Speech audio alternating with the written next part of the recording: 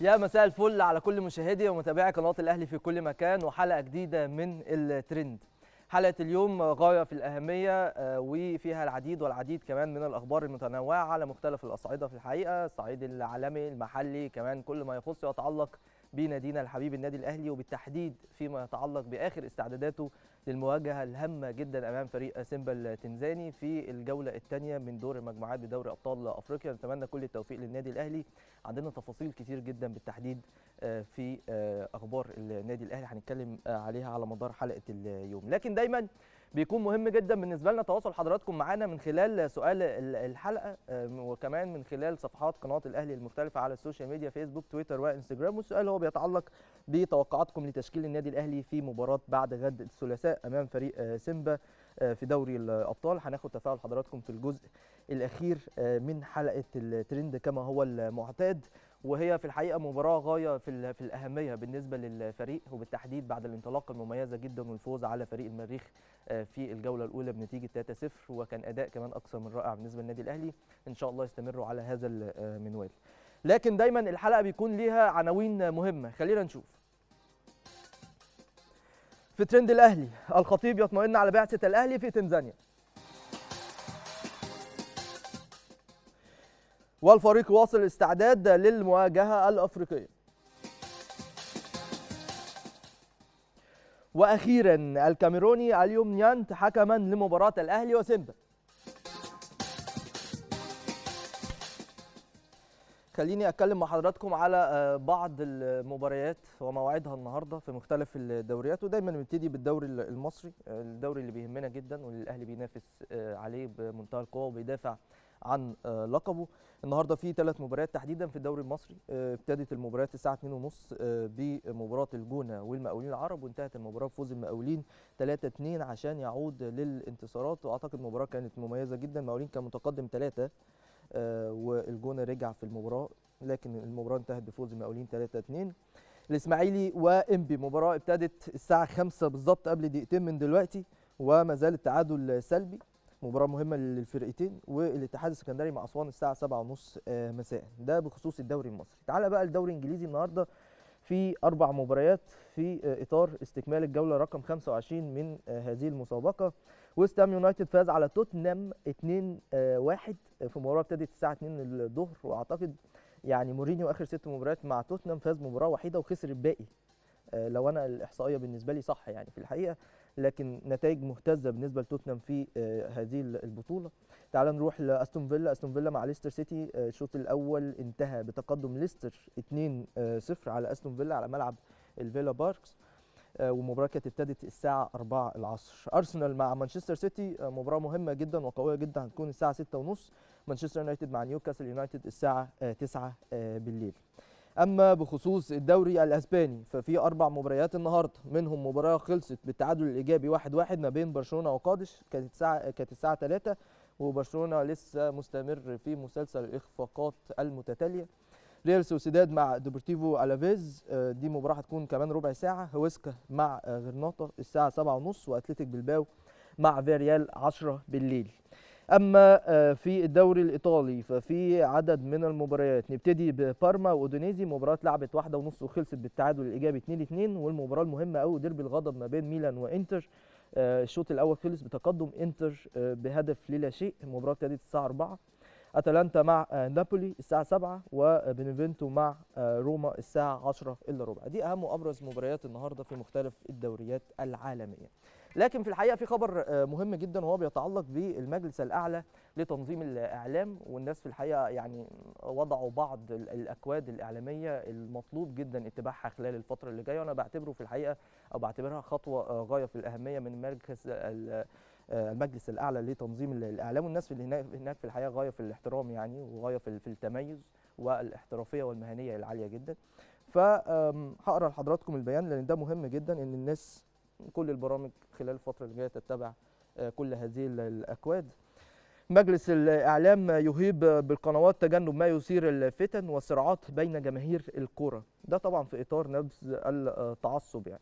أصدر المجلس الأعلى لتنظيم الإعلام بيانا اليوم الأحد أهاب فيه بالقنوات الرياضية المصرية الابتعاد عن كل ما يثير الفتن والصراعات والخلافات بين جماهير الكرة.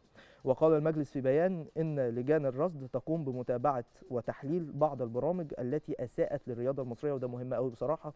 ويفحص الشكاوى التي تلقاها في هذا الشأن ويتخذ الجزاءات المنصوص عليها في قانونه والتي تضمن سلامة الجماهير والحفاظ على استقرار الوسط الرياضي. وأوضح المجلس أن الأكواد التي أصدرها تتضمن النقاط التالية. واحد نشر وتدعيم القيم الرياضية الإيجابية التي تضع روح المنافسة في خدمة التنمية الصحيحة للعلاقات الإنسانية. حلو. عدم الإساءة إلى الفرق والمنتخبات الرياضية المحلية أو تلك التي تنتمي إلى دول أخرى من حيث الشكل أو اللون أو نوع الجنس أو الثقافة وعدم الخروج عن مقتضيات المعالجة الإعلامية. أو الصحفية المهنية إلى أبعاد سياسية أو ثقافية أو اجتماعية أو أمنية أو غير ذلك مما قد يسبب مشكلات بين الحكومات أو الشعوب أو فئات المجتمع. مهم. عدم استخدام المنافسات الرياضية فيما من شأنه التأثير السلبي على الوحدة الوطنية أو السلام الاجتماعي أو تحقيق الاستقرار في المجتمع أو في نشر العنف أو الإحباط. أربعة التزام اللغة التي تحفظ للرياضة رسالتها واستخدام تلك اللغة في الارتقاء بالذوق العام. خمسة عدم التعرض للحياة الشخصية للرموز الرياضية أو المشاركين في الأحداث الرياضية. ستة تجنب استخدام تعبيرات التهديد أو التخويف أو التحريض وتجنب استخدام كل ما من شأنه التأثير السلبي تجاه الأفراد أو الجماعات أو أو فئات المجتمع. سبعة عدم افتعال المشاكل والتراشق اللفظي مع أطراف أخرى. ثمانية التركيز على الأحداث والسلوكيات الإيجابية المرتبطة بالقيم الرياضية التي تحدث في الملاعب أو خارجها وإبرازها بهدف التشجيع عليها وعلى نشرها بين الجميع. وأخيرا رقم تسعة احترام مشاعر الأطراف المتنافسة بين اللاعبين والجماهير والإداريين والعمل على تهدئة المشاعر الغاضبة لديهم. في الحقيقة يعني أكواد مهمة ويعني نقاط مهمة جدا من خلال المجلس الأعلى لتنظيم الإعلام وجاية في توقيت كمان أكثر أهمية علشان يعني يتم تناول الموضوعات والأحداث الرياضية بالشكل الموضوعي بدون إثارة أي فتن. ده أمر غاية في الأهمية. هروح لفاصل سريع. بعد الفاصل بقى كل التفاصيل اللي بتتعلق باستعدادات النادي الأهلي لمباراة بعد غد إن شاء الله الثلاثاء أمام سيمبا تنزانيا. استنونا.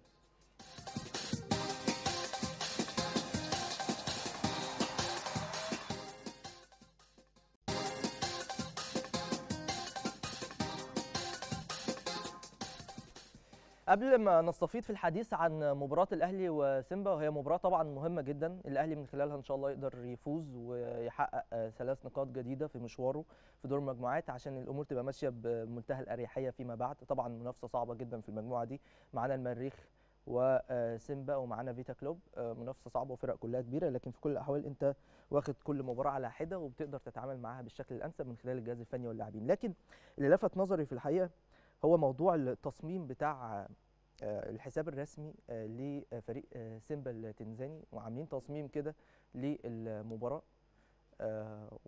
وحاجة غريبة شوية. تعال نشوف الشكل ده. قال لك total war يعني واخدين المباراة في إطار الحرب. وده أمر غير مطلوب. ممكن هم من خلالهم يعني دي طريقة معينة بيحاولوا يحفزوا بيها لاعيبتهم ماشي مفيش مشكلة. لكن هو بيقول لك إيه مثلا؟ بيقول لك مباراة بطولية مباراة للرجال ضد أبطال أفريقيا. طبعا هنا بيقدروا قيمة النادي الأهلي وده أمر ماشي كويس. لا ينبغي تفويتها. قاتلوا في الميدان للتأكيد أو التأكد من تحقيق الثلاث نقاط. لكن ال ال ال الصورة نفسها والحرب والدبابات والجو اللي هم عاملينه ده مبالغ فيه شوية مبالغ فيه شوية بصراحة يعني. لكن لو ده في إطار التحفيز بالنسبة لهم ماشي. لكن في نفس الوقت اللي يهمني إيه بقى؟ اللي يهمني إيه بقى؟ أتمنى بصراحة يعني يكون مستر بيتسو موسيماني ورى التصميم ده للعيبة. لأن ده هيكون أكبر دافع للاعبي النادي الأهلي في المباراة إن هم يعملوا مباراة كبيرة جدا في ظل حضور جماهيري واضح إن هو هيكون كتير مش أقل من 30 ألف مشجع. وواضح الحماس اللي هيكون عليهم من خلال طبعا اللي شفناه دلوقتي. فده أكبر دافع وأكبر حافز للجهاز الفني واللاعبين بإذن الله إن هم يفوزوا في هذه المباراة وإن يعملوا مباراة كمان كبيرة. الملعب بالمناسبة ملعب كويس اللي هستضيفه مباراة الأهلي وسيمبا. فبالتالي الأجواء كلها هتساعد النادي الأهلي إن هم بإذن الله يقدروا يفوزوا في هذه المباراة. ممكن توقيت المباراة صعب شوية الساعة 3 العصر ودرجة الحرارة عالية شوية فوق ال 30 الرطوبة كمان عالية. ممكن ده يكون عائق بالنسبة للاعبين لكن إحنا متعودين على الأجواء دي في أفريقيا. إحنا أبطال أفريقيا ما عندناش أي مشكلة في الأمور دي خالص. لكن الأهم بالنسبة لي إن إحنا ناخد كل هذه الأمور التحفيزية اللي بيقوم بيها مسؤوله سيمبا التنزاني سواء كمان الجهاز الفني أو اللاعبين أو الإعلام هناك في إطار الدافع بالنسبة لنا ناخده بالشكل الإيجابي عشان نقدر بإذن الله آه نكسب هذه المباراة. وإحنا بنحب الحاجات دي بصراحة الأهلي بيحب الحاجات اللي زي دي حاجات بتشجعك بشكل أكبر وتثبت إن أنت طبعا بطل أفريقيا. بإذن الله يكونوا موفقين إن شاء الله نتمنى التوفيق من عند المولى عز وجل. ده فيما يتعلق بالتعليق على تصميم فريق سيمبا تنزاني على صفحتهم الرسمية على ال social media. طيب خلينا نتكلم على بعض الأخبار اللي بتتعلق بالنادي الأهلي قبل 48 ساعة من انطلاق اللقاء. الكابتن طبعا محمود الخطيب بيتواصل بشكل دائم مع البعثة وبيطمن بشكل كبير جدا من خلال الأستاذ محمد الدماطي عضو مجلس الإدارة ورئيس بعثة النادي الأهلي هناك في تنزانيا وبيتابع كل الإجراءات اللي بتتعلق بالفريق سواء إجراءات أمنية إجراءات طبية كل الأمور في الحقيقة بيتابعها أول بأول الكابتن محمود الخطيب. وده اللي أكد عليه كمان الأستاذ محمد الضماطي في تصريحاته وقال إن دايما الكابتن محمود الخطيب بيتواصل معانا وبيطمن على البعثة بشكل كامل وبيأكد على مدى أهمية طبعا المباراة أمام فريق سيمبا. وقال ده لسه كلام على لسان طبعا الأستاذ محمد الضماطي قال إحنا عندنا ثقة كبيرة جدا في لاعبتنا وفي جهازنا الفني وتمنياتنا كلها معاهم إن هم إن شاء الله بإذن الله يفوزوا. في هذا اللقاء ويأكد على الالتزام الطبيعي اللي بيبقى طبعا عليه الجهاز الفني واللاعبين في أي رحلة أو أي معسكر خارجي. لاعبو الأهلي كمان يعني النهارده كان عندهم محاضرة بالفيديو بيستكشفوا من خلالها مع الجهاز الفني نقاط القوة والضعف الخاصة بفريق سيمبا التنزاني وده بعد ما محللي الأداء في الجهاز الفني للفريق كانوا رصدوا بعض اللقطات المهمة جدا لفريق سيمبا والتركيز عليها من خلال طبعا مستر بيتسو موسيماني اللي بيدرس كل فريق بالشكل الأمثل ويوضح نقاط القوة والضعف بالنسبة للاعبين بالتالي في المحاضرات المختلفة. هو بيركز قوي على المحاضرات في الحقيقة مستر بيتسو موسيماني وده أمر مهم جدا. الأهم كمان إن هم بصراحة وده شيء تم اتباعه على مدار الفترة اللي فاتت إن كل فريق هيلعبوا النادي الأهلي بيبقى ليه لقطات معينة. اللقطات دي بتتحول على الأجهزة الإلكترونية الخاصة بكل لاعب في الفرقة. وكل لاعب وهو في غرفته كده أو هو في مثلا في الطيارة رايح مسافر هيلعب الماتش أو كلام من ده بيتابع اللقطات دي وبيركز ليه؟ عشان يحفظ سواء نقاط قوة بقى نقاط ضعف إزاي يلعب مع الفريق ده اللعيب اللي هيقابله في مركزه مثلا في المباراة هيتعامل معاه إزاي؟ فده أمر تم اتباعه مؤخرا وفي الحقيقة إيجابي جدا. يعني أنا لاحظته كمان في رحلة المونديال يعني الناس كانوا اللاعبين كانوا مركزين جدا سواء في غرفهم أو حتى في الطيارة. وهم رايحين على لقطات لبعض الفرق اللي لعبها النادي الأهلي في كأس العالم للأندية. طيب كمان في برنامج غذائي خاص للاعبي الأهلي قبل مواجهة سيمبا وده من خلال الدكتور عبد الرحمن سعيد أخصائي التغذية بالجهاز الطبي للنادي الأهلي الراجل ده في الحقيقة بيقوم بمجهود كبير جدا وبيتعب قوي مع مع الفرقة وبيجهز وجبات لكل لعيب على حدة على حسب احتياجات كل لاعب كمان هو في الرحلة دي وخصوصا في ظل الرطوبة وكل والمعوقات التي قد تواجه الفريق بسبب درجة الحرارة كمان. جهز الكثير من السوائل والمياه والمكملات في أوقات محددة بيتناولها لاعبي النادي الأهلي على حسب طبعا البرنامج الغذائي الخاص لكل لاعب لتفادي الإرهاق والإصابات يوم المباراة. وده أمر أيضا غاية في الأهمية. لكن فيما يتعلق بالإصابات وده بعيد شوية عن الرحلة نفسها لكن عندنا بعض اللاعبين المهمين جدا المصابين ومتواجدين هنا في القاهرة وبيأدوا برامجهم العلاجية والتأهيلية استعدادا للعودة للتدريبات الجماعية والمس...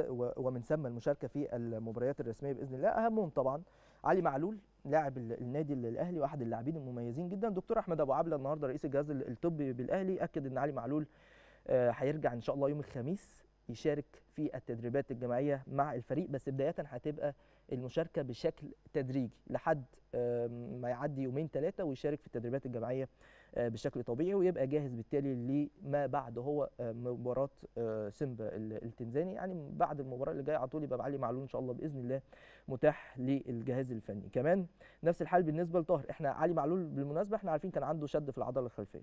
طاهر محمد طاهر كان عنده شد في العضلة الضمة. وبالتالي بيقوم ببعض البرامج العلاجية والتأهيلية وده اللي أكد عليه أيضا الدكتور أحمد أبو عبلة وقال إن طاهر بداية من يوم الخميس يقدر يشارك في التدريبات مع الفريق وده أمر أيضا مهم ومميز جدا. يعني دي أهم وأبرز ال- الأمور والأخبار اللي بتتعلق بفريق النادي الأهلي. عندنا تقارير ولا فاصل؟ فاصل. طيب خلينا نروح لفاصل سريع. بعد الفاصل لسه عندنا تفاصيل كتير جدا بتتعلق.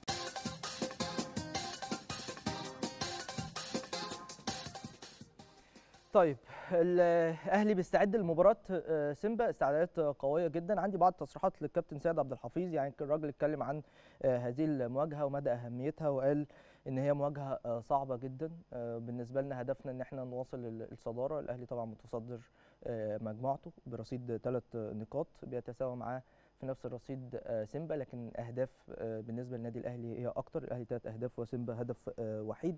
لكن أنت عايز تأكد هذه الصدارة من خلال الفوز بإذن الله على سيمبا في هذه المباراة. كابتن سامي كمان سامي قمصان مدرب ال- الفريق قال نسعى لتحقيق نتيجة إيجابية أمام سيمبا. في تركيز كبير جدا بخصوص المباراة دي آه، انت أقل تقدير تخرج بتعادل لكن الهدف الأساسي بالنسبة للنادي الأهلي دايما إن أنت تكسب في ال- في الماتش أي ماتش أنت هتلعبه سواء جوه أو بره إن أنت تكسب. وكمان أنت لو كسبت بإذن الله خارج ملعبك بقى عندك ست نقاط فتريح نفسك شوية نسبيا آه، في المنافسة آه، على التأهل من هذه المجموعه وكمان آه، في تصريحات لمعالي السفير محمد أبو الوفا آه، سفير مصر في تنزانيا الراجل كان معانا امبارح في مداخلة وطمنا من خلاله على كل التفاصيل اللي بتتعلق بتواجد بعثة النادي الأهلي هناك في آه، تنزانيا. خلينا نروح نشوف تصريحات الكابتن سيد عبد الحفيظ تصريحات الكابتن سامي قمصان وتصريحات معالي السفير محمد أبو الوفا ونرجع مرة ثانية يلا بينا. مهم جدا يبقى في تحضير بشكل كويس. مهم جدا يبقى في استعداد بشكل كويس. إحنا جايين وعارفين هنلاعب فرقة مختلفة تماما عن كل السنين اللي فاتت كهوية و وحتة تنظيمية ورغبة كمان يمكن حتى باينه من استعداداتهم هم موجودين هنا في تنزانيا في رغم إن هي بلدهم وعلى أرضهم المباراة لكن معسكرين من يوم الجمعة زينا بالظبط يعني. آه، مستعدين بشكل آه، قوي جدا للمباراة. عندهم مدرب كان آه، على دراية بال- بالكرة المصرية وبحكم إن هو كان ماسك النادي الإسماعيلي. آه، حتى في التذكرة بتاعتهم اللي بتاعت المباراة بين أهمية المباراة بالنسبة لهم يعني آه، الطريقة اللي عارضين بيها أو التصميم بتاع التذكرة يبين هم بيفكروا في المباراة إزاي يعني. فهي مباراة آه، أنا شايف إن هي ممكن تبقى أقوى مباراة المجموعة بالنسبة لنا يعني في في في الفترة الحالية وما آه، صحيح لسه في آه، أربع مباريات بعدها لكن في النهاية آه، مهم جدا إن إحنا نحقق فيها نتيجة إيجابية بإذن الله. أنا كنت متواصل آه، أو على تواصل دائم مع مع كابتن أنس مدير الكرة في نادي المريخ والراجل يعني مش عايز أقول لك هو بي- بيقول علينا إيه أو بيتكلم معانا إزاي يعني. وإحنا بنجاربنا يعني إحنا ده آه، دول إخواتنا يعني بغض النظر عن التنافس أو أو اللقاء يعني. يعني هم كان عندهم آه، آه، رغبة إن هم يقعدوا لحد يوم الخميس ف أكن الماتش لسه يوم الخميس بالنسبة لنا يعني كواجب ضيافة أو تعامل يعني. لأن هم بيعاملونا كده نادي المريخ علاقتنا بيه علاقة أبدية وتاريخية يعني.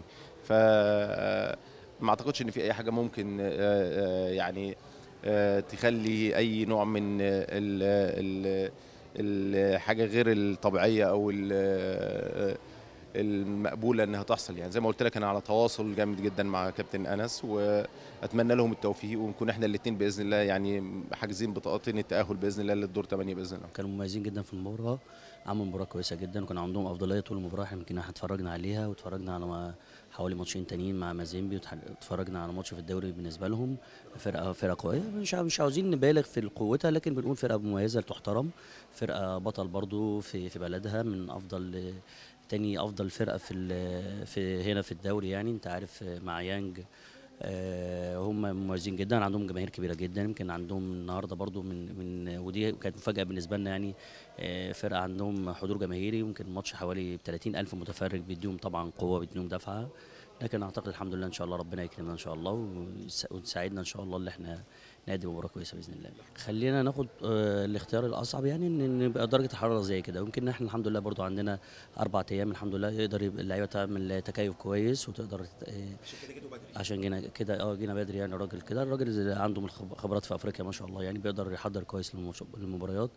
لكن أعتقد طبعا درجة الحراره طبعا صعبة يمكن صعوبتها عشان إحنا جايين من برد بس لحرارة عالية جدا مع رطوبه عالية جدا لكن ده ده قدرنا وده قدر لعيبة النادي الأهلي إن أنت تلعب في كل الظروف وكل المستويات وإن شاء الله أعتقد اللعيبة إن شاء الله على على العهد دايما وإن شاء الله إن شاء الله ترضي جمهور ترضي جمهورنا وتحقق إن شاء الله نتيجة إيجابية بإذن الله. الحقيقة آه، قبل وصول البعثة آه، بعثة النادي الأهلي كنت على تواصل آه، مع رئيس البعثة وعضو مجلس إدارة النادي الأهلي كابتن السيد محمد الضماطي. والكابتن سيد عبد الحفيظ آه، المدير الإداري للفرقة مدير الكورة آه، وبشأن كل ال- الإجراءات والترتيبات المطلوبة فيما يتعلق بالاستقبال في المطار فيما يتعلق بالانتقالات والإقامة في الفندق وحجز الملاعب الفرعية والمران الأساسي وكافة الإجراءات. والحمد لله تم التنسيق مع اتحاد الكرة التنزاني ومع نادي سيمبا لتوفير كل التسهيلات اللازمة بحيث إن شاء الله تتم المباراة وما قبلها في إطار من السهولة واليسر للنادي. نتمنى إن شاء الله النادي يحقق مباراة طيبة ترضي جماهيره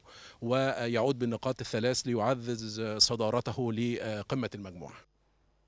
أهم حاجة في التصريحات دي بصراحة تصريح الكابتن سيد عبد الحفيظ وإن هو أكد على تواصله الدائم مع مدير الكرة بنادي المريخ كابتن أنس وبيأكد على مدى العلاقة الطيبة جدا ما بين الفرقتين وما بين الجمهورين.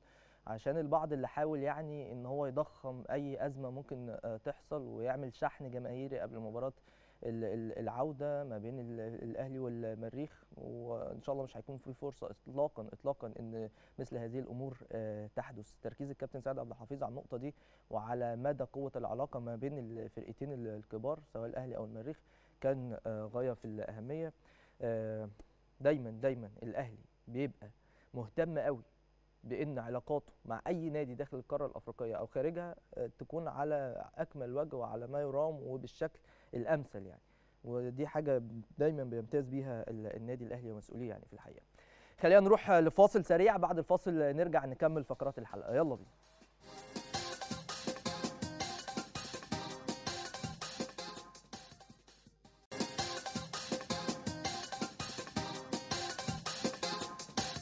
طيب عشان نطمن على فرقة النادي الأهلي هناك في تنزانيا بشكل أكبر خلينا نروح سريعا عبر الهاتف لزميلنا العزيز شريف شعبان مراسل قناه الأهلي المتواجد مع البعثة في هذه الرحلة عشان نطمن من خلاله على كل التفاصيل اللي بتتعلق بالفريق وآخر استعداداته لمباراة سيمبا. يا شريف مساء الخير.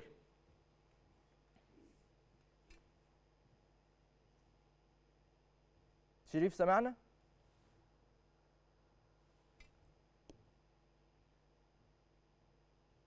طيب شريف لحد ما يبقى جاهز معانا.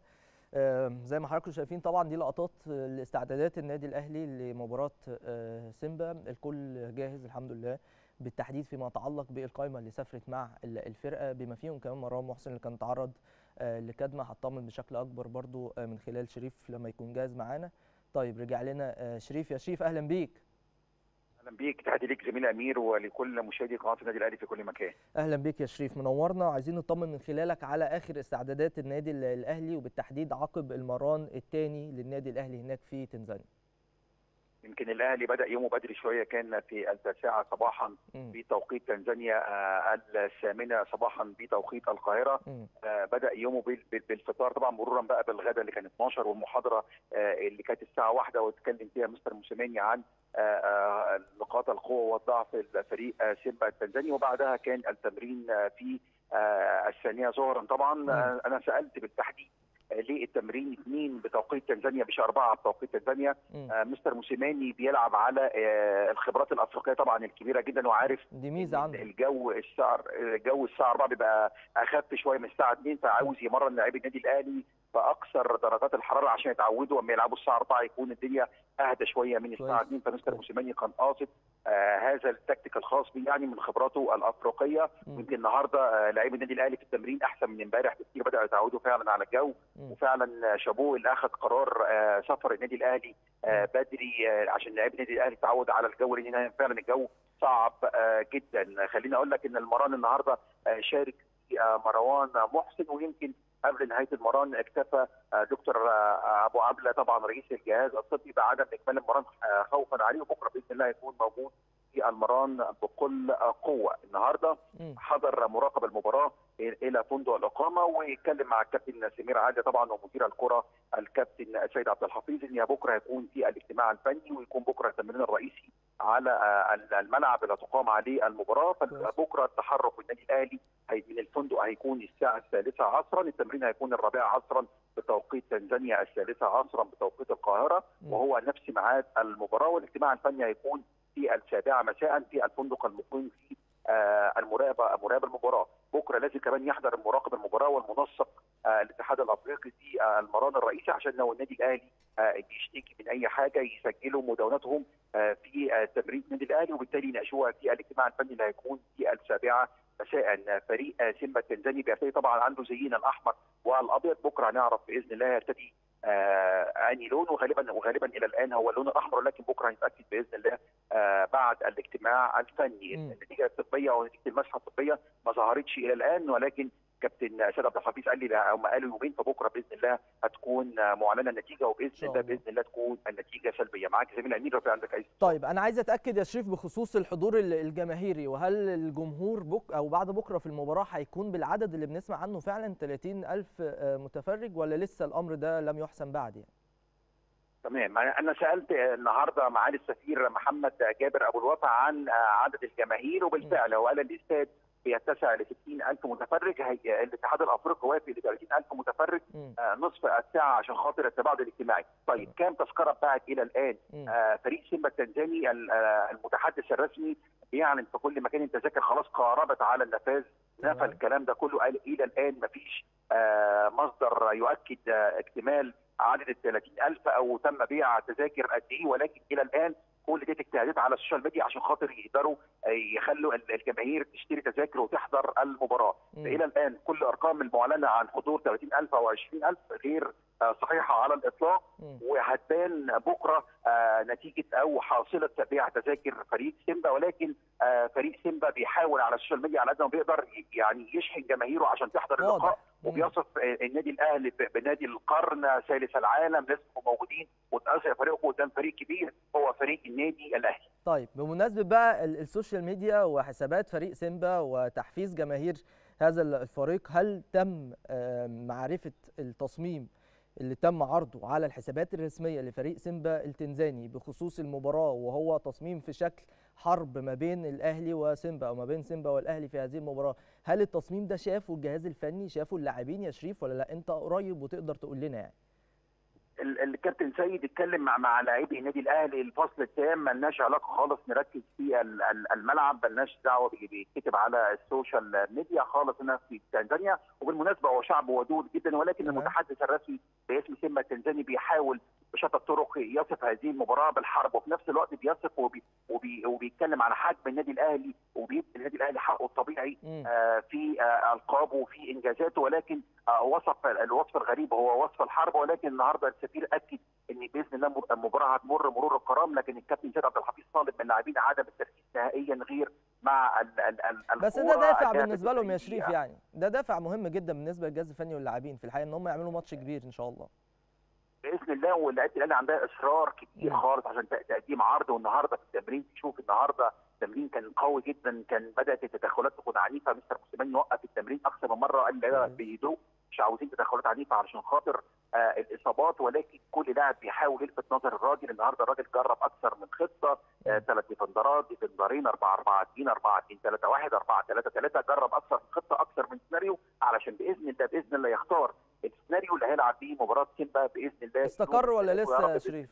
استقر على التشكيل لا ولا ما لسه؟ استقرش. لسه. لا لا لا ما استقرش أكتر من طريقه لعب امبارح وأكتر من طريقه لعب النهارده. آه ثلاث ديفندرات. لا ديفندرين جرب كذا جرب شريف جرب كهربا جرب بواليا. جر يعني جرب أكثر من لاعب جرب قفشه وركن مم. قفشه شوية. جرب أكثر من لاعب حمدي فتحي أكرم. ولكن يبدو إن أكرم ممكن يكون لعيب محوري لأن أكرم ما خرجش خالص من كل حسابات الراجل في كل في كل تغييره أكرم كان موجود في كل تغييرات الراجل. تمام. التكتيك بتاعه فيبدو إن أكرم يبدو إن أكرم ممكن يكون موجود في وسط ملعب النادي الأهلي. لكن أيمن جاهز مروان جاهز الأمور بالنسبة لنا يعني بالنسبة للفريق كله ماشية كويس يا شريف.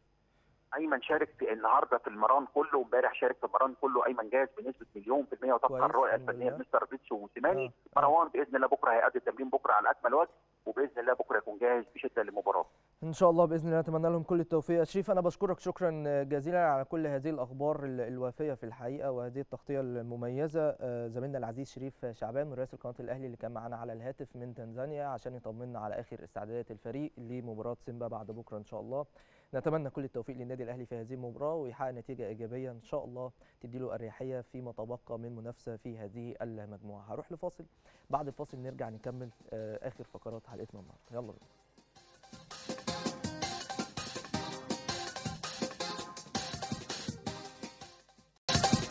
خلينا سريعا نروح لترند ال- الأهلي ونشوف إيه إيه اللي اتكتب على النادي الأهلي على ال social media آه، تحديدا. نبتدي بالحساب الرسمي للوطن الرياضي على فيسبوك واللي بيتكلموا على اسعار تذاكر مباراة ال- الأهلي وسيمبا وبيقول لك أغلى آه، تذكرة ب 150 ألف آه، شيلين اللي هي يعني 1000 جنيه مصري الشيلين اللي هي العملة بتاعتهم هناك آه، 3000 شيلين تنزاني 20 جنيه دي أرخص تذكرة بخصوص الحضور في هذه المباراة. خلينا نروح للخبر اللي بعده.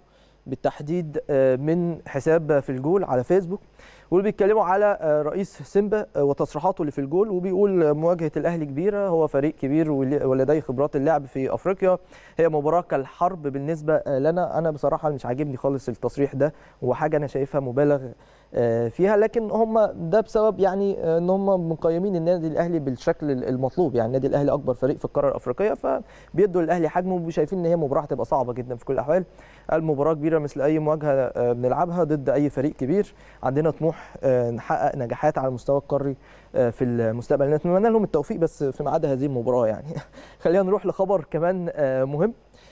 بص بقى الخبر ده من المصري اليوم. وحسابهم على تويتر. بيقول لك إيه؟ موسيماني يدرس الدفع بشريف لاحتواء غضب. حاجة بصراحة منتهى الغرابة يعني. من الآخر كده يعني مع احترامي الكامل طبعا لزمايلنا الأعزاء في المصري اليوم هم كلهم زملكاوية يعني من الآخر أو معظمهم 90 95% منهم زملكاوية. فقال لك محمد شريف الراجل كان بيلعب وبيجيب أجوان فجأة الراجل قعد على الدكة وجهة نظر فنية مفيش مشكلة. لكن أنت لازم دايما بما إنك حابب تخلق بعض الأزمات للنادي الأهلي فتركز تشوف محمد شريف ما بيلعبش ليه؟ لا ده ما بيلعبش فبالتالي الولد متضايق فبالتالي موسيماني عايز يراضيه ويلعب. هل مستر بيتسو موسيماني كمدير فني كبير هيحاول إن هو يجي على حساب الفريق لمجرد إن هو يحتوي غضب اللاعب ده؟ لو الغضب ده أصلا موجود لا طبعا. الكلام غير واقعي وغير منطقي بالمرة ومحاولة لخلق بعض الأزمات بخصوص فريق النادي الأهلي. اولا محمد ش... محمد شريف ما عندوش أي مشكلة خالص. والراجل ولا بيتكلم ولا بيفتح بقه وملتزم جدا. وأكبر دليل على كده إنه حتى في ظل تواجده على آه، مقاعد البدلاء الراجل جدد تعاقده مع النادي الأهلي. فالأخبار اللي زي دي ما نقفش عندها كتير في الحقيقة بس أنا حبيت أعلق عليها سريعا. خلينا بسرعة كمان ناخد تفاعل حضراتكم بخصوص توقعاتكم تشكيل النادي الأهلي آه، في مباراة آه، سيمبا. نبتدي بعبد الوهاب قال محمد الشناوي آه، محمد هاني ياسر إبراهيم بدر بنون محم- آه، محمود وحيد آه، أليو ديانج عمرو السولية كهربا أجاي قفشه والتر بواليا وإن شاء الله الأهلي يكسب 2-0 بإذن الله. محمد ناجح قال كمان إن الشناوي ومحمد هاني ياسر إبراهيم بدر بانون حمدي فتحي ديانج عمرو السولية قفشة محمد شريف والتر بواليا وأجاييه وإن شاء الله الأهلي يكسب 3-0 أعتقد أيمن أشرف جاهز وممكن يبتدي هذه المباراة على حسب طبعا الرؤية الفنية لمستر بيتسو موسيماني. دي كانت تفاعل أو ده كان تفاعل حضراتكم آه، معانا ودي كمان كانت حلقتنا النهارده من ترند ليس لدينا المزيد وغدا كل جديد في حلقة جديدة من نفس البرنامج. استنونا إلى اللقاء.